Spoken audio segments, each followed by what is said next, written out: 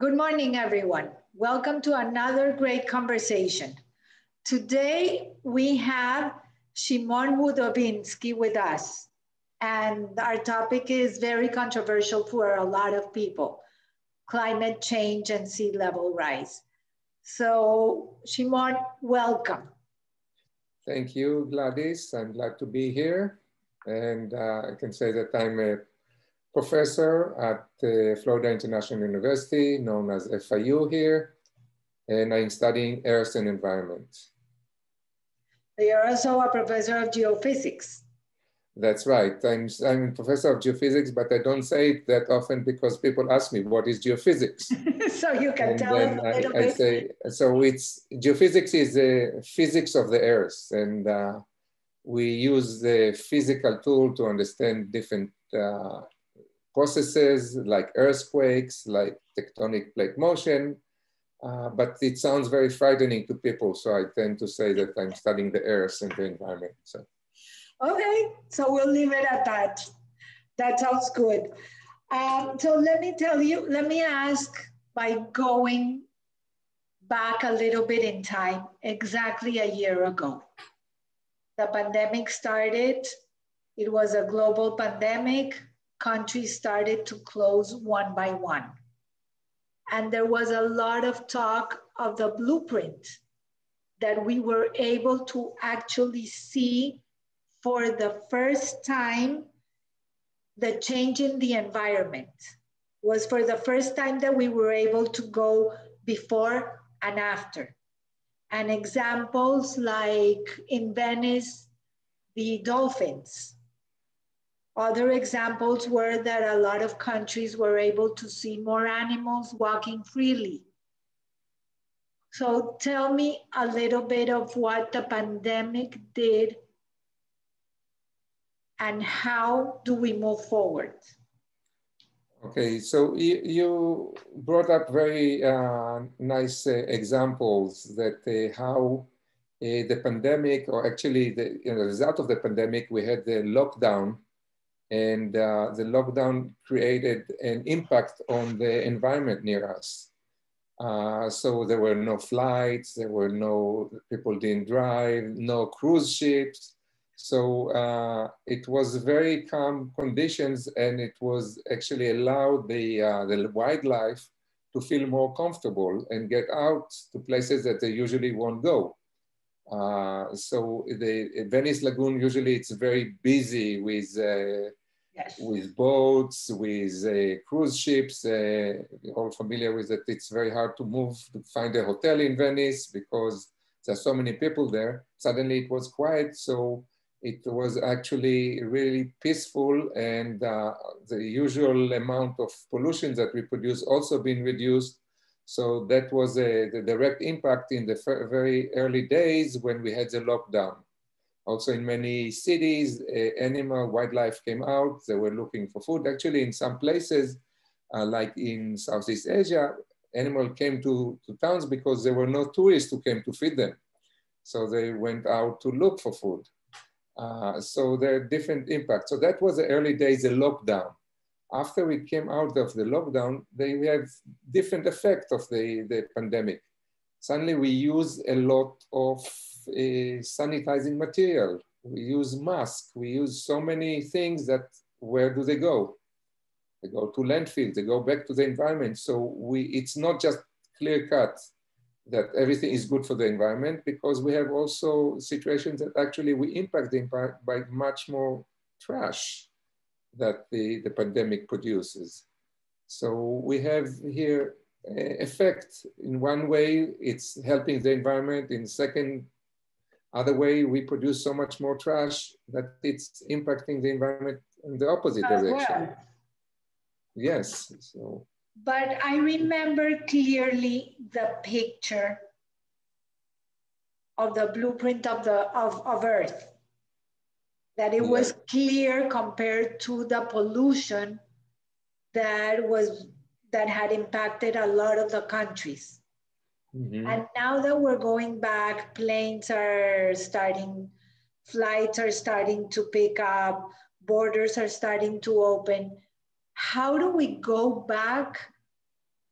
How do we eliminate or not eliminate because it cannot be eliminated, but what can we do moving forward? Okay, so we, we have the impact is, we saw the, what's we call the short-term impact that within the days or the weeks after the, the lockdown. Now we, we need to think about how things are rebounding back and this is a longer term. Uh, so the longer term is how do we need to improve our environment, to reduce the pollution, all of these uh, to, to, think that yes, the, the pandemic gave us a very good lesson that we can do better if we we uh, consume less, if we drive less, if we fly less.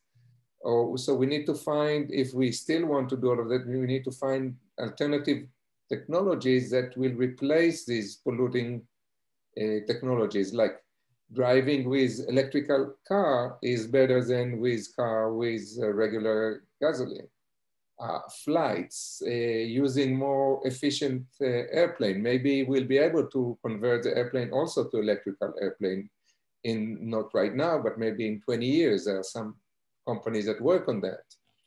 Uh, so uh, this is the impact on the environment that needs to be done uh, by us people consume less and supporting technologies that replace these uh, uh, polluting and consuming uh, technology existing one with better ones.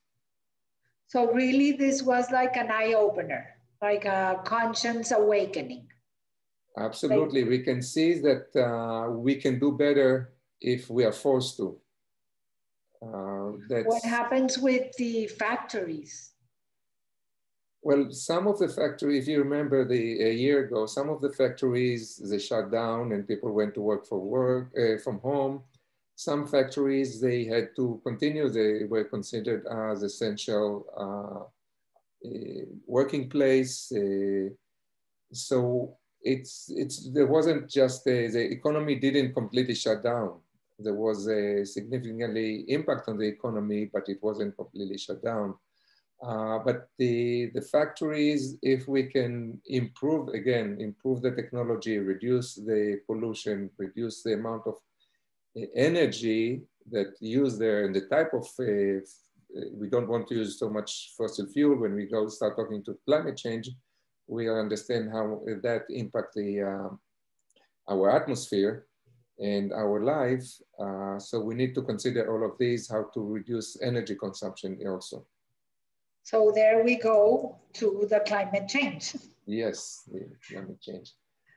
So one uh, thing. There, climate change, there's two ways because there are the people that really advocate for climate change and are very well aware on everything that's going on, while there are the others that do not believe in climate change, that they do not believe that this is real. So the question is why it's a question of belief. It should be a question of science. If science, if the evidence show that there is a change, we should follow the evidence. It's not do we believe in that or not believe in that. And the evidence uh, show that there was a significant increase in temperature, in the amount of uh, carbon dioxide in the atmosphere over the past uh, 200 years since the uh, basically with, there's a little bit of a delay, but since the, uh, the beginning of the industrial evolution. So there is an increase in the carbon dioxide in the atmosphere, and that's the science. Uh, there is increase in temperature, and every year in the past decade, the temperature were higher and higher. So the last 10 years were the, the highest in the record of 150 years since we have measurements of temperature. So it's not about belief, it's accepting fact. Do you accept fact or not? Uh, that's the way it is. Now, people say, uh, we don't believe, did, did, you get vaccinated? Do you believe in science? Did you, so it's, it's just a question of uh, accepting the fact or fighting the fact uh, for your convenience. But if you uh, accept science, and uh, most of us do because we have much better life when we have modern medicine, we have all the technologies, everything comes with science. I mean, even the, um, the phone that we use, yes? Yeah, Our cell phone, this is science and we communicate. So if we accept that, we take the, the, benefits out of science, we should follow the evidence. And the evidence show very clearly that the temperature has increased over the 100, 150 uh, uh, 50 years significantly. Uh, we should accept it as, as a fact, not, not say it's not question it. Yeah, it's not a belief or not. It's a, now, what people are saying that it's not, uh, the, the, denier said in the beginning that it didn't happen. Now, the, since it's very clear that it did happen, we have the increase in temperatures. Many, some of the deniers say, yeah, but it's a natural process. Uh, and it's true, some of the processes are natural and some are uh, human impacted. Like um, what? What is, for example, a natural cause okay. in the sense, and what would be the impact that we have caused? Okay, so natural uh, causes is that the earth is, uh, we think about the earth as something very stable, doesn't change, but the earth is changing all the time. So when we look at the different time period or different time scales, uh, we see different processes. So there is a, in the Earth's history, we had period of uh, glaciers. So the, and now we have period of uh, interglaciers. So it's uh, there is less of uh, uh, the Earth's warmed got out of this cycle of being in, under glacial conditions into what we call now interglacial conditions. So that was a natural uh, process. It, it, the last time we had the glaciers, it was about 13,000 years ago. And uh, there were glaciers in North America and Canada was covered by glacier and, and they, they, melted. This is a natural process uh, that takes uh, maybe 10,000 of years, 100,000 of years. We have these cycles. We know the cycles, we can follow them. So this is a natural process. So the Earth has been warmed in the past 14,000 years or even longer. Now what happened is that the rate of change is very high. What happened in 150 years, it's much faster than the, the longer terms of what happens in the past uh, 10,000 years. So we see a very rapid increase in temperature and very rapid increase in the uh, amount of carbon dioxide in the atmosphere. So what happened, there were also in the Earth history periods that we had high uh, carbon dioxide like we have now. But these periods were very warm. So what, a few, temp, a few degrees higher than today, when we say degrees, it, we take the average of the temperature all over the Earth, day and night, winter and, and summer, and we do average. So the people are calculating all of these. And we can see how things are changing, not just in one location, one season and things like that. So, so things have been changing. So the natural ones are pretty slow, but what happened now are very high changes. And I, I heard the analogy, the amount of carbon dioxide that we have now in the atmosphere means that it's going to be the temperatures on Earth should be much warmer. And it's like you have the oven and you turn the, uh, the heater on and it's still uh, warming up. It's, we still didn't get there, but we will get there. We will get there eventually. Eventually. So there is a delayed response until the heater is uh, producing all of the heat. So that's what happened in the Earth, that we have the carbon dioxide already in the atmosphere and it keep uh, warming up the, the Earth's atmosphere and then the oceans and everything else around that. We're approaching sooner, very soon, next season of hurricanes. Mm-hmm. Oh, there's a lot of people that say that hurricanes have not gotten stronger. There's the other people that say that they have gotten stronger. Tell me a little bit about the hurricanes. We live in South Florida. We're impacted every year. Every year, January 1st, we're on high alert. And some people would say, no, hurricanes all existed all the time. Look at Hurricane Andrew was a category five. And now we had a few category fives hurricanes. So is that part of the climate change? Okay, so uh, we have to think what, is a hurricane? So hurricane is a way of uh, energy that is stored in the ocean, the surface of the ocean to release into the atmosphere. And uh, so it's something that happens almost every year. In some places in the world, it's called typhoon, cyclone. It's not unique only to us. It's the way the, uh, the atmosphere is, is working. It's uh, getting the energy and releasing it up to the, uh, up to the atmosphere. Now, uh, over the years, the, uh, there is variability. Not every year is the same because uh, different conditions that promote hurricane activity. Certain condition actually suppresses them like uh, if we have here, if you heard the terms El Nino, it's, it, it's something that happens every few years. So El Nino conditions uh, actually uh, suppresses hurricane activities over here, while La Nina conditions, which is the opposite, increase. And this, uh, this year happened to be La Nina conditions. So, uh, so this year we got a lot of more than usual. So more than usual. If you heard the word like uh, a lot of floods in Australia, that's typical for La Nina conditions. So we have moderate La Nina condition this year. Uh, so uh, now it varies. So this is just one thing, but it very depends on the, the winds and the, uh, the, the, all these winds that come out of Africa and where it comes when it's going to have a landfall, landfall or not. So these, these are the conditions that change uh, from year to year. So that we had over the history, if we, we start having uh, pretty good records over the past 100 years or 150 years, we see variability. We, we see change from one decade to another. We have decades that there were a lot of activity. There were actually a few decades in the 50s, not too much activity. Then in 1992, there was Andrew, that impacts us Florida. And then people thought maybe it's the beginning of a new era. And then there was quiet. And then in 2004 and five, we had a lot of uh, hurricanes also in Florida.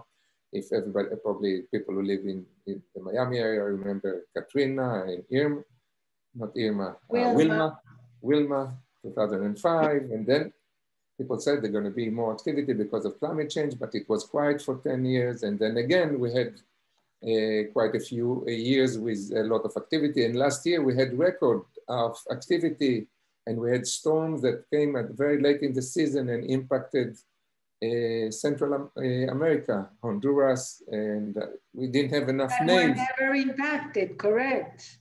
Yeah we didn't have name. We gave them these Greek names and Greek alphabet. It said you're going to change it because things are going to change. So not always the same Greek name, uh, alphabet names.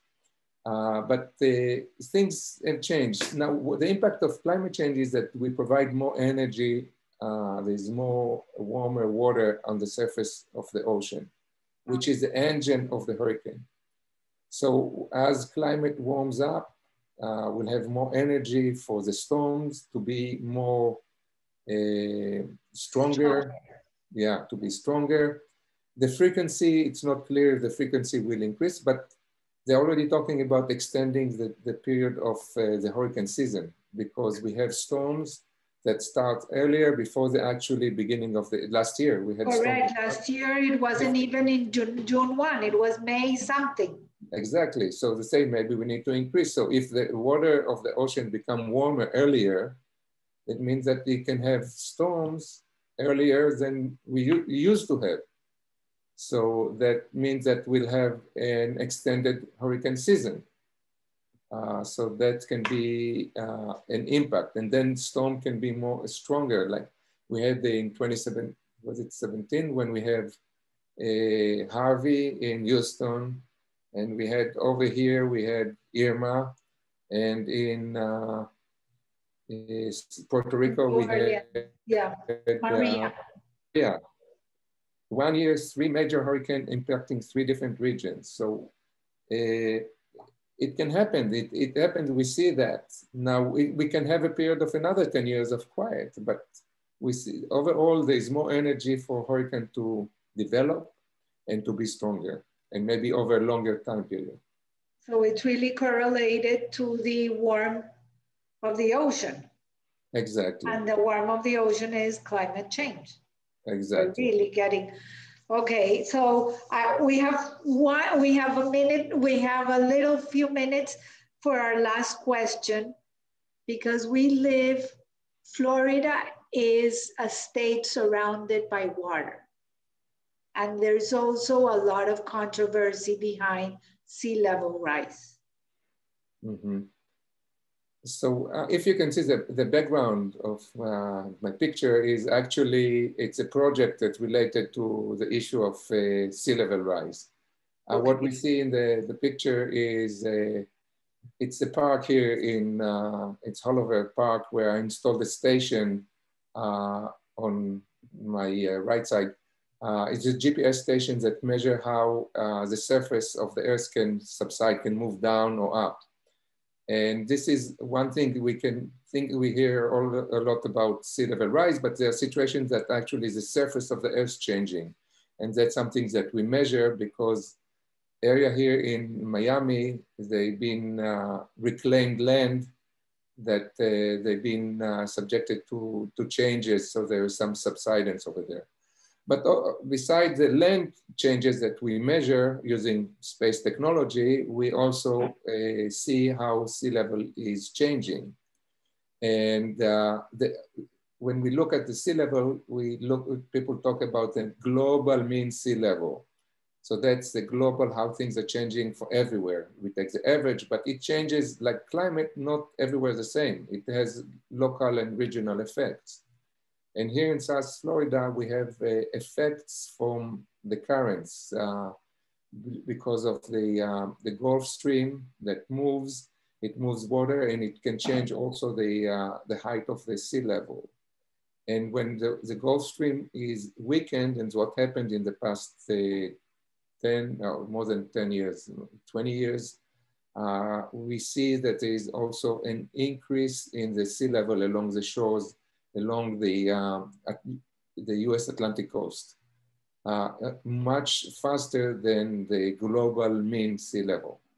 So we have here some regional effects that cause we, we get to see a faster rate of sea level rise along uh, Florida. Because of the, locali of the location. The location, we have the effect of the, this, the, the of the, uh, the Gulf Stream. Also winds are very important factor. They push water toward the, uh, the land and they also can provide uh, friction and they slow the, uh, the currents. And that's something that I study these days, the impact of wind on direct the impact of wind on the sea level rise. So we, we see that there is, a, I see in my study some correlation between wind, the direction of the wind and where it happens, and uh, rapid rates of sea level rise. So uh, we have all of it. So it's here in Florida, we have not just the global what happened due to uh, the warming of the atmosphere and the melting of the, uh, the glaciers in the polar region. We have also local and uh, regional effect due to the ocean dynamics and the winds. The high, uh, the high tide, that for example, now we're hearing high tide or the moon tide, which was the giant tide and a lot of the cities experience major flooding. Mm-hmm. That will continue to rise over and over with time? Yes, uh, that's a good point. So what happens, uh, the sea surface is a dynamic surface, is dynamic. It's, we have the high tide, the low tide, and uh, it's not always the same. When we talk about sea level rise, we somehow we forget about that and we say that everything gonna rise. But we have days that we have higher tide, so we, we call it here king tide, and uh, the um, sunny side uh, flooding. So we have all of that, and it's because of the, the sea level is rising, we have the impact of this extreme condition when it's the highest, usually here is around in September, October, then we have the highest tide because of the forces of uh, the moon and the sun that exert on the, the, the, water. So we have this uh, very high condition. And because sea level is rising, it will continue to rise and we'll have more, more flooding days uh, during this period of high tides, which is uh, usually in, in, in the fall, in September, October, November, than in the rest of the year. So right now we don't see much of the flooding, but when we'll get to the, the fall season, we'll have more of these uh, high uh, flood days. So it's more about not that we're gonna get more flooded, but we're going to be flooded more, more time. Exactly, we'll, we'll have more flooding days. More and flooding days. Yeah, or flooding, it's days or, or making it impossible for all the pipes to work really fast. That's right. Uh, so when, when we have a high uh, sea level condition, um, our uh, drainage system, fluids, uh, sewage system don't work as, as, uh, as good because of the, its gravity base. So that's why in Miami Beach, they changed from gravity-based drainage system to pump-based. So they actually becoming more efficient in draining their if there is a rain during high tide conditions, they can drain it out, the rain. But uh, if it's very high above the, the sea walls, then it's not very effective. So it's a combination. There are ways of dealing it, but not forever, because then we need to rise, raise the sea walls all the time. The yeah. Shimon, very interesting, but we're out of time. Okay, it was a pleasure. Very no, nice. thank you. Thank you so much. This is really interesting. I hope that we create some awareness for those of you who do not believe in climate change. And like Shimon said, it's based on science, not based on whether you believe or you don't believe. So thank you so much. Until next week, and above all, stay safe. Thank you. Thank you, Gladys.